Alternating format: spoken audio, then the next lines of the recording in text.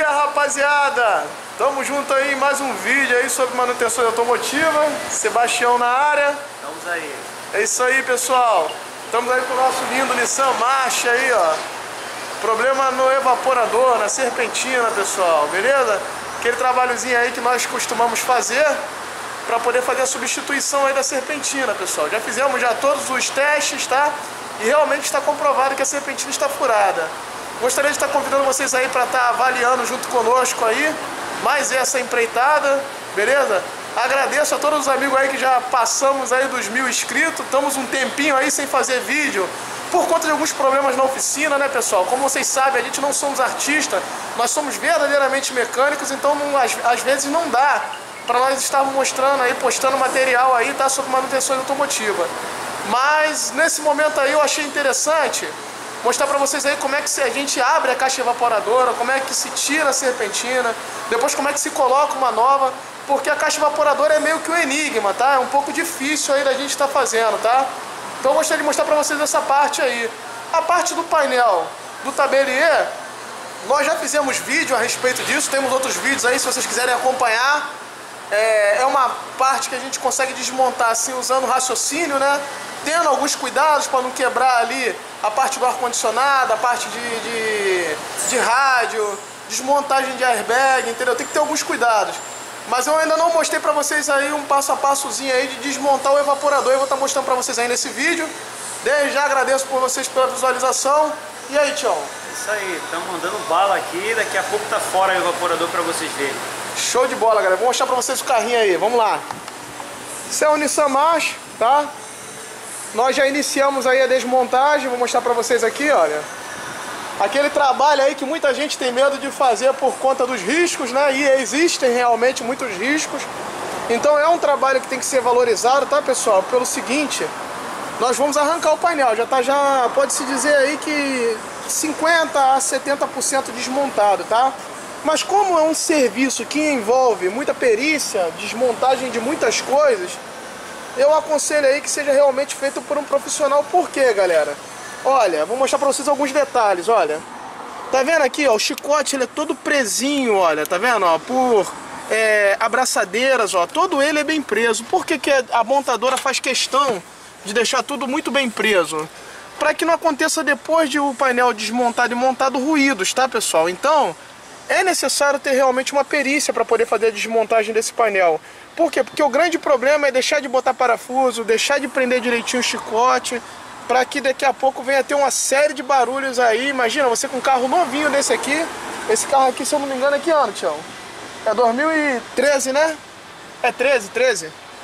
Um carro 2013, tá relativamente, tá muito bem conservado, tá novo. E daqui a pouco ele vai estar tá cheio de barulho, pessoal. Entendeu por quê? Porque levou num profissional que não é qualificado para fazer o serviço. Mas nós aqui na Revisa K o assunto é diferente, tá pessoal? Para nós, missão dada é missão cumprida. Tenho certeza que vai ficar perfeito como tantos outros que já foram feitos, beleza? Essa é uma das dicas que eu vou dar nesse vídeo, tá? Leve seu carro em uma oficina, um profissional qualificado. Se no caso, você que está me ouvindo é um profissional da área, do ramo, então eu te parabenizo aí e realmente que você continue aí se informando cada vez mais para poder estar tá prestando serviço para os seus clientes, assim como nós prestamos, com uma verdadeira excelência, beleza, galera? Vamos continuar aqui a desmontagem e daqui a pouco eu vou fazer para vocês aí. Hoje o meu foco não é desmontagem de tabelier, porque eu já fiz vídeo nessa questão. Hoje eu quero mostrar para vocês é isso aqui, ó. Aqui dentro, vou mostrar para vocês, ó, tá? o evaporador, tá? Vou tirar o evaporador fora, vou mostrar para vocês a retirada, vou mostrar para vocês a desmontagem dele, depois da montagem, colocação da serpentina. A serpentina, entendeu? Com defeito, furada. É isso aí, galera. Vamos acompanhar. E é isso aí, galera. Dando continuidade aí no nosso vídeo aí. Nós vemos aí o sofrimento do nosso mestre Tião. Fala aí, Tião. Como é que tá isso aí? Tá mole? Tá indo, tá indo, tá indo. Tá indo. Tá quase nascendo bebê, né, galera, Tião? É isso aí. Pessoal, olha a bagunça, pessoal. Olha, eu já fiz isso aí pra mais de 20 vezes, pessoal. Mas toda vez que eu vejo, eu me surpreendo com isso. Olha que situação que fica o carro, gente. Será que depois volta tudo pro lugar? Volta, Tião? Volta, pô. Fica perfeito? Se voltar, eu desisto. Ah, é isso aí, pessoal. Já já o bebê vai nascer. Nosso foco é essa criança aí, ó. Tá? Caixa evaporadora. Eu vou mostrar pra vocês aí como é que a gente faz pra abrir ela com segurança, depois montar direitinho. Vou mostrar pra vocês aí a evaporadora é, furada, né, no caso, né, defeituosa, a nova que vai entrar no lugar. Aguarde cenas do próximo capítulo, pessoal, já já eu mostro. É isso aí, rapaziada, dando prosseguimento ao nosso vídeo, já conseguimos arrancar a caixa evaporadora, certo, galera? Vou mostrar pra vocês aqui que essa caixa evaporadora, tá? Ela é bem simplesinha de você arrancar aqui o elemento evaporador, né? A famosa e tão temida, serpen... temida serpentina. Uh, caraca! Isso dá frio na espinha de muita gente, galera. Mas nada que na Rede já estamos acostumados com esses serviços, certo? Bom, galera, a serpentina normalmente você tem que se guiar para tirar ela de uma caixa evaporadora por aqui, ó. Vou mostrar para vocês, ó. Isso aqui, ó. Isso aqui se chama válvula expansora, tá? Normalmente, ela é sempre ligada diretamente na serpentina, certo? A válvula evaporadora, ela tem os tubos, tá? Que faz a ligação diretamente na serpentina. Então, a caixa evaporadora ela pode ser de qualquer forma, entendeu? Pode ser de cabeça para baixo, pode ser de qualquer jeito. Você sempre vai se guiar pela válvula expansora, certo, galera? Aqui na válvula expansora você vai ir desmontando e vai seguindo o caminho para poder chegar até a serpentina. Essa daqui é bem simples, tá? Mas tem mais complicadas. Vamos lá. Válvula expansora está aqui. Temos aqui alguns parafusos. Vou tirar, o Tião vai tirar para vocês verem. Tira aí, Tião. Só desatarrachamos. Certo? Isso aí, soltou aqui na frente. Essa borrachinha que faz acabamento na expansora. Já soltou já aqui Ih, galera, a pontinha da criança já aparecendo aí. Só o Tião acabar de desencaixar aqui. Soltou. Beleza? Bem sujeira. sujinho. Olha quanta sujeira. Isso aí vai pro teu pulmão. É, galera. Isso aí vai pro teu pulmão. Ó. Por isso é importante o filtro de cabine, né? O filtro de antipólen. Vamos lá, vamos tirar ela. Olha a criança aí. Tá vendo como eu falei pra vocês? Válvula expansora os tubos e a serpentina, tá? Se essa válvula ela tivesse aqui do lado de cá, pra gente achar a serpentina, a gente ia se guiando por ela, tá bom? Ela é sempre nosso, nossa bússola para achar a serpentina. Tô te falando isso por quê? Porque cada, cada caixa evaporadora vem em uma posição diferente a serpentina, certo? Vamos lá, Tião, vamos retirar ela fora. Isso aqui é o flagrante do, do vazamento. É o contraste que vai dentro do óleo. Aí, pessoal. Aí fica esverdeado. Tá vendo aí? Então, galera, não tem, não tem segredo. Olha o flagrante aí, ó. Isso aqui é o contraste, tá? Que já vai já... Normalmente, quando a gente vai fazer um tipo de avaliação, a gente às vezes dá uma carguinha de contraste, tá? E ele certamente vai mostrar o vazamento. Como a caixa evaporadora é fechada, nós não conseguimos, claro, óbvio, é, achar esse vazamento. Então temos que fazer os testes né, necessários para chegar à conclusão de que temos que trocar o elemento evaporador. Tira ela daí, por favor, Tião, para a gente poder pegar ela na mão para ver. É isso aí, pessoal. Olha ela aí, ó tá? Ela não é tão velha, tá? Podemos ver que ela não está tão deteriorada, tão de, é... mas aqui está o vazamento, ó. Deixa eu botar para vocês pertinho, ó, ó. Olha aí, olha isso aí, ó. Isso aí já é a, corro... o, o, a é, corrosão, né, do vazamento. Beleza? Já já eu vou mostrar para vocês aí, a gente vai estar tá fazendo a substituição, tá? Já fiz o pedido aí nos nossos é, distribuidores. Olha aí, galera certo? Então podemos ter certeza aqui de que o diagnóstico está certíssimo, certo? Como de costume. E estaremos aí fazendo a, a substituição. Os nossos forne... nossos. Aí galera, olha aí. Ih rapaz, agora dá pra ver legal, né? Olha como é que está vazando pra caramba, ó. Tá vendo? Então fica a dica aí, galera. O carro ele não é tão usado, a quilometragem dele é baixa, mas não está livre de um defeito como esse, tá bom? Vou mostrar pra vocês aí a substituição. Daqui a pouquinho vai estar tá chegando aí a nossa serpentina, a gente vai estar tá colocando no lugar, beleza? Vamos continuar acompanhando. E é isso aí. É isso aí, galera. Dando continuidade aí ao nosso vídeo. Acabou de chegar para nós aqui o nosso nossa, nosso evaporador, né? Elemento evaporador, serpentina. Vou mostrar para vocês aqui, ó. Tá? Acabou de chegar agora aqui, entregado para nós. Vamos lá, essa aqui é a velha, né, que estava no carro. E essa aqui é a nova, nós estaremos aplicando no veículo, tá? Ela é importada, mas esse distribuidor nosso aqui, ele tem uma, Umas peças de boa qualidade, ó. Tá? Deixa eu pegar pra vocês, pra vocês verem, ó. O acabamento muito bem acabadinho, ó. Vocês podem ver que ela é toda protegida. Então, vai nos servir bem, beleza? Isso aqui é a peça nova, certo?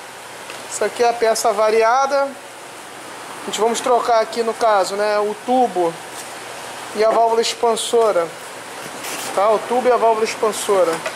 Que vai pegar aqui, certo? Ela vem lacradinha, ó, fechadinha. Fazer o teste, dar uma pressãozinha, né, galera? Antes de montar toda a serpentina. Tá? Ver se não tem nenhum vazamento na nova, porque neném novo também morre, né, galera? Então a gente tem que estar tá prevenido para tudo. Não vai sair montando que nem um maluco daqui a pouco você vai ter que desmontar tudo para poder ir lá cobrar o cara a garantia, certo? O seu distribuidor. Vamos fazer agora a montagem, vou mostrar para vocês agora a aplicação na caixa evaporadora, beleza? Galera, bom, a, a serpentina já está na posição, certo, de montagem. Já colocamos dentro da caixa evaporadora, já trocamos aqui o tubo, já colocamos aqui a expansora, beleza? Agora a gente vai iniciar a montagem, tá? Aqui é muito simples, é só colocar aquela peça, né, que era que a gente retiramos, certo? E prender e prender a lateral. Dessa forma, ó. Pronto. Agora botar os parafusinhos, certo? Os parafusinhos no seu devido lugar. E vamos que vamos. Aí, ó. colocar aqui a, a capa protetora, certo? Ó. Eu tô fazendo com uma mão só. Tá vendo? Tá montada praticamente já a serpentina. Vai colocar o filtro de pólen tá resolvido. O filtro de pólen encaixa aqui, ó. Certo? E vamos já levar ele pra... Cadê aqui o filtro de pólen? Certo? Então, vou mostrar pra vocês já já como é que vai ficar. É isso aí, galera. Mais um serviço executado. E aí, foi a troca do evaporador. Beleza, galera? É isso aí. Vou mostrar a peça aqui pra vocês peça que foi trocada, o vazamento, a retirada do painel. Leandro vai mostrar lá pra vocês como ficou lá dentro e como tá gelando. É isso aí, pessoal. Mostrar pra vocês aqui primeiro a nossa nosso manômetro, né? Aqui, ó. Que dá pra perceber aqui que tá bem equilibrado, tá? Dentro aí dos padrões aí que normalmente o fabricante recomenda, certo? O compressor tá comprimindo bem, a pressão do veículo tá perfeita. E será que esse Tião realmente montou esse painel? Não sobrou parafuso não, Tião? Não, pô. Ficou perfeito? Vamos ver como é que ficou esse painel. Rapaziada, olha isso aí, galera. Painelzinho todo no lugar perfeitamente, da forma que tem que ser. Nosso marchezinho aí. E será que tá gelando, Tião? Aí, pessoal. Entra aí, entra aí, Tião. Caraca, tá muito frio aqui dentro, meu irmão. Meu Deus do céu, Tião. Como é que esse cara vai aguentar tanto frio num calor desse, hein? Aqui tá, aqui tá o, o, o, nosso termômetro, tá? Que tá mostrando aqui, ó, que estamos aqui dentro do habitáculo com 5,4 graus, perfeito? Graus ou graus? Graus. Graus então, Celsius. Graus Celsius. Tá, e é isso aí, galera, tá? Servicinho foi bem executado. Termômetrozinho ali, ó, perfeito, tá? Vê que o painelzinho tá muito bem montado, ó, nada balançando, sem barulho, certo? Aí, tudo show de bola. Mais um servicinho aí do nós da Revisacar. Aí caiu mais um pouquinho aqui, ó. Ih, rapaz, foi pra 5,3. Tá baixando, pessoal. Tá baixando, tá baixando aí a temperatura aí. É pra sentir frio mesmo. E aqui nesse Rio de Janeiro, Quanto mais gostoso for o ar-condicionado, melhor, porque é difícil de aturar o calor daqui, né não, Tião? É isso aí, tem que ter conforto. É isso aí. Bom, pessoal, desde já eu agradeço a vocês aí que assistiram mais esse vídeo, tá? A intenção desse vídeo aí foi dar mais algumas dicas, mostrar para vocês aí é, a maneira correta aí de retirada do, evapor, do elemento evaporador da caixa evaporadora, certo? já foi substituído, o carro está em perfeitas condições, já podemos entregar ele para o cliente, né, Tião? É isso aí. Então, um abraço a todos, muito obrigado. Já caiu mais um pouco aqui, ó, 5,1, ó. E tá caindo, pessoal. Daqui a pouco vai chegar 3 ali, 3 graus Celsius e, E aí o cara vai vir brigar comigo porque o ar tá gelando demais. E olha que é verdade isso, tá? Já aconteceu de cliente vir aqui fazer serviço e vir reclamar porque o ar tava gelando muito. Falando se não tinha como eu diminuir um pouco o gelo. Mole, tio? Que doideira, né? Isso aí. O cara reclamando que não tinha ar, depois reclamou porque tava gelando demais, cara. Que doideira, velho. Mas tamo junto, galera. Não se esqueça, por favor, pessoal. É muito importante você se inscrever no canal, dar aquele like responsa. E quando, quanto mais der aí pra gente tá colocando material aí, a gente vai estar tá se esforçando para estar tá mostrando para vocês aí mais e mais aí é, mais e mais aí dicas interessantes aí a respeito de manutenção automotiva, beleza? E tamo junto, um abraço a todos, fiquem com Deus.